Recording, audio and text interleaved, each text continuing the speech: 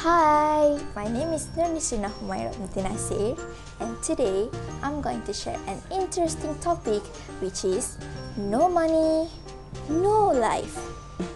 So, what is the real meaning behind the title? Yes, it is about saving.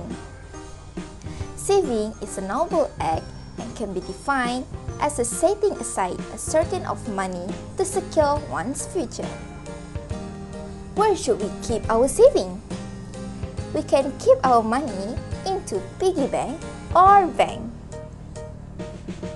Since we were kids, we Malaysian used to have the saying about the importance of saving, which is sikit-sikit, lama-lama jadi bukit. Supposedly, this activity has become a practice and culture in our daily lives. This is a few tips of saving. First, make a plan. Break your long-term goals into smaller, more manageable for months and years. With this idea, you can plan how much money you need to save and set the right limit for your non-needs budget. Second, take a public transportation. Try replacing a drive to work one day a week. This can help you both time and money because you can do other things done on the bus while saving money on gas and wear and tear on your car. Third, plan your groceries.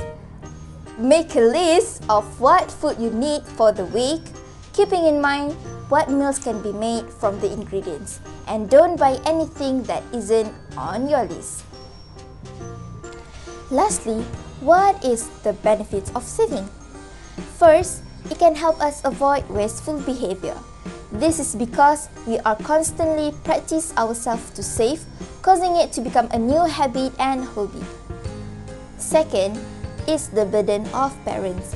This is because when children use their saving, the cost of parental spending will be less, so they can use the money for other expenses.